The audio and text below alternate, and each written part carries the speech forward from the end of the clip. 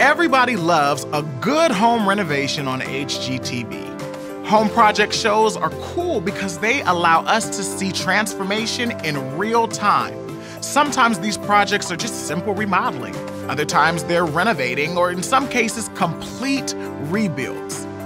This Easter, we're going to focus on our own transformation stories as we're all in the process of becoming who God has created us to be. Through Jesus, we get to experience a total and radical transformation.